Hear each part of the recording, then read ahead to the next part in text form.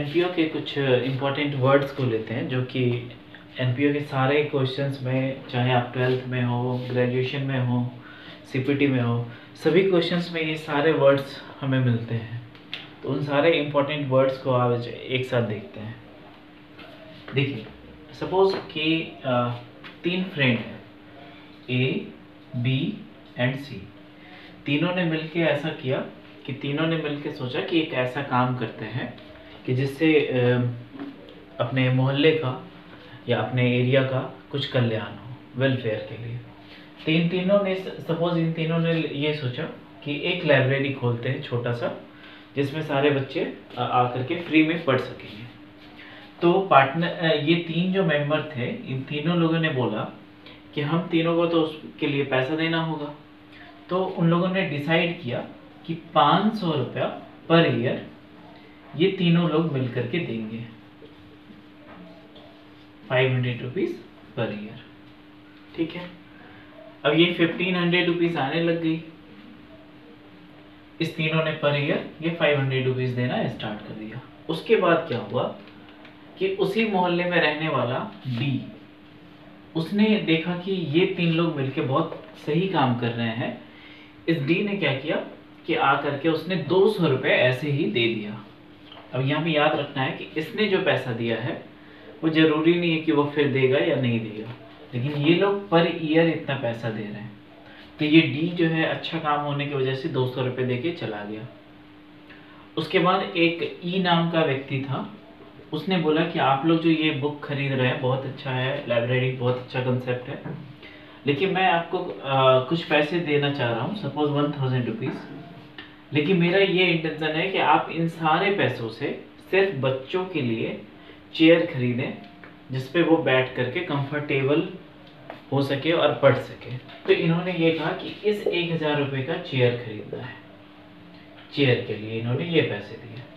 ना अब देखिए, ये तीन लोग जिन्होंने मिलके स्टार्ट किया था they are known as members वैसे व्यक्ति जिन्होंने स्टार्ट किया और जिन्हें पैसे पर ईयर या एक जो टाइम उन्होंने स्पेसिफिक किया है कि इतने दिनों में पैसे देना है, वो सारे लोग मेंबर कहलाते हैं। So A B C are members क्यों? क्योंकि इन्हें पर ईयर पैसे वहाँ पे डोनेट करने हैं। और मेंबर जब पैसा देता है, ये मेंबर के द्वारा दिया गया पैसा है this money which is given by the members that is called subscription. तो first word of NPO that is called subscription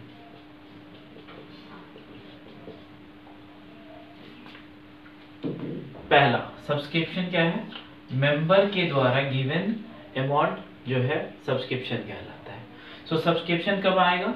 per year आ सकता है हाफ़ ईयरली आ सकता है जो भी डिसीज़न हुआ होगा उसके अकॉर्डिंग अब देखिए डी यहाँ पर पर मंथ पैसा नहीं दे रहा है। डी का पर मंथ पैसा नहीं आ रहा है so he is not a member और जब मेंबर को छोड़ करके कोई दूसरा व्यक्ति ऐसे ही रैंडमली आकर के पैसा दे जाए that is called the second word that is called donation this one is donation तो amount which is given by the members that is called subscription and amount which is given by the person who are not a member that is called donation then after अब देखिए E E ने तो पैसा दिया है.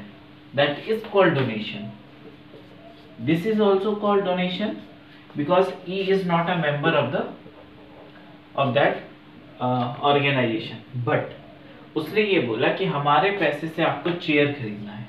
ना look one thing डी ने जो लुक ये दिया है डोनेशन इससे वो बुक खरीद सकता है चेयर भी खरीद सकता है या कोई भी काम कर सकता है. लेकिन ई ने जो पैसा दिया है उसने बोला है कि चेयर ही खरीदना है। सो so, चूँकि ये मेंबर है नहीं तो इसीलिए इसका पैसा भी डोनेशन कहलाएगा।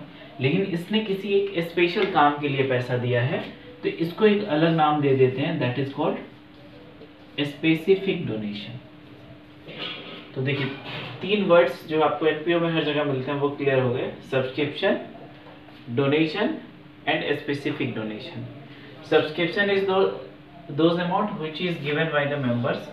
Second donation वैसा पैसा जो मेंबर के द्वारा नहीं दिया गया है. And third one specific donation वैसा डोनेशन जो कि मेंबर के द्वारा नहीं दिया गया, लेकिन इसलिए दिया गया है कि उससे कोई एक विशेष कार्य किया जाए, एक निश्चित कार्य किया जाए. तो that is called specific donation तो three words are clear first is subscription second word donation third word specific donation ना तीन चीज़ें क्लियर हो गई। अब एक और चौथा वर्ड देखते हैं। जैसे ये तीन मेंबर हैं जिन्हें पर ईयर पैसा देना है five hundred rupees and they are known as the members कभी कभी ऑर्गेनाइजेशन किसी एक व्यक्ति को या तो आउटसाइडर हो या मेंबर हो, उसे एक चीज़ ऑफ़र करती है कि आप लमसम कोई अमाउंट पे करिए और लाइफ टाइम के लिए आप मेंबर बन जाइए। सपोज़ इस ऑर्गेनाइजेशन ने बोला कि अगर आप ट्वेंटी फाइव थाउज़ेंड रुपीज़ देते हैं कोई भी तो आप लाइफ टाइम मेंबर बन जाएँगे तो अगर किसी ने सपोज़ यहाँ पर मैं लेता हूँ जी को जी ने पच्चीस हज़ार रुपए दिए और वो हमेशा के लिए मेंबर बन गया। तो जी के द्वारा दिया गया पैसा not G is a member but इसने जो अमाउंट दिया है, जैसे ये लोग 500 पर ईयर दे रहे हैं, इन्होंने एक बार में दे दिया। So this amount is known as lifetime membership fee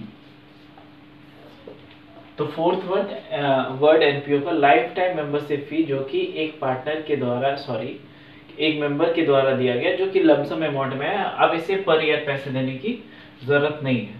तो this is called life time membership fee donation specific donation life membership fee and subscription चार वर्ड्स क्लियर हो गए। Life membership fee not the fifth word fifth word is legacy ये word जो है न लो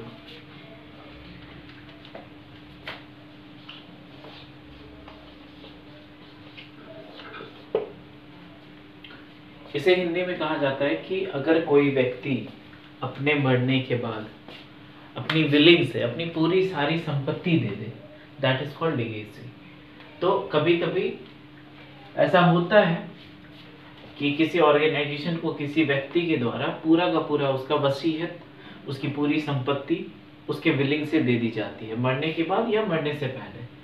तो ये अमाउंट जब हमारे पास रिसीव होता है, ये जो पैसा रिसीव होता है लिगेसी जो तो legacy is a capital receipt why it is a capital receipt because it is not a one time it is not a recurring receipt ये बार बार नहीं मिलता।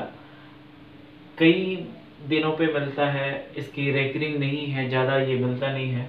So it is a capital nature receipt and this will be written in a balance sheet क्योंकि ये capital receipt है बार बार नहीं मिलता है। व्हाट इज़ लिगेसी किसी व्यक्ति के द्वारा उसकी पूरी वसीयत उसके जीने से पहले या मरने के बाद।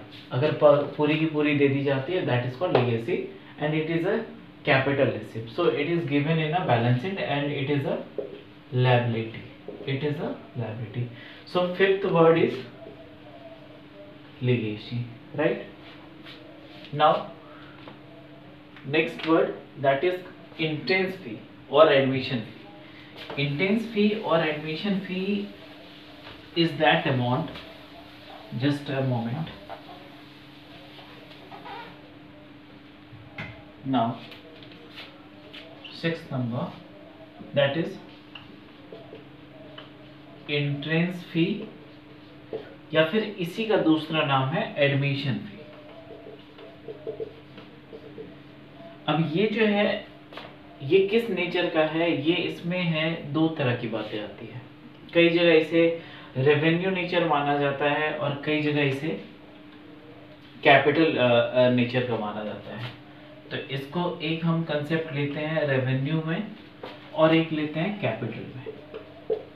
क्योंकि ये एक ऐसा है इंटेंस फ़ी को पहले देखते हैं, जैसे कोई मेंबर आता है, कोई एडमिशन फ़ी है वन टाइम पेमेंट है ये, कि हमें एडमिशन लेना है वन टाइम पेमेंट है। तो वन टाइम पेमेंट होने की वजह से कई लोग इसे कैपिटल रिसिप्ट मानते हैं, क्योंकि ये बार बार नहीं आता है वन टाइम पेमेंट है वन टाइम पेमेंट है, इसका rec it is not recurring so it is तो कुछ ऐसे पक्ष हैं जो इसे कैपिटल रिसिप्ट के मानते हैं। क्योंकि उनका ये कहना है कि ये बार बार नहीं मिलता वन टाइम रिसिप्ट है। तो कैपिटल मानने की वजह से वैसे केस में इसको ले जाते हैं हम बैलेंस शीट में। लेकिन कई लोगों का ये कहना है कि इंटेंस फ़ी या एडमिशन फ़ी जो है, वो काफ़ी स्मॉल अमाउंट है। बहुत ही स्मॉल अमाउंट है।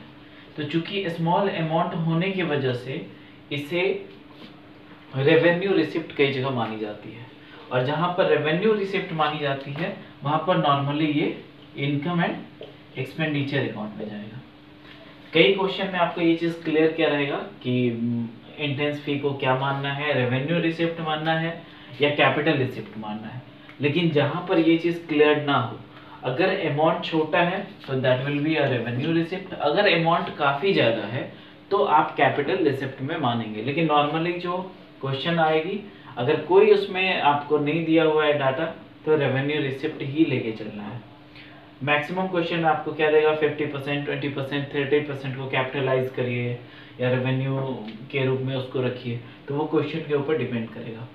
So we have discuss the five words one is subscription donation specific donation life membership fee legacy and then after entrance fee and admission fee next question से हमें start next video में हमें start कर रहे हैं, जिसमें हम देखेंगे कि सब्सक्रिप्शन और जितनी भी रिसिप्ट हैं, जो भी चीज़ें हैं लाइक सब्सक्रिप्शन का हो गया सैलरी का हो गया, इस सब की एडजस्टमेंट कैसे होगी?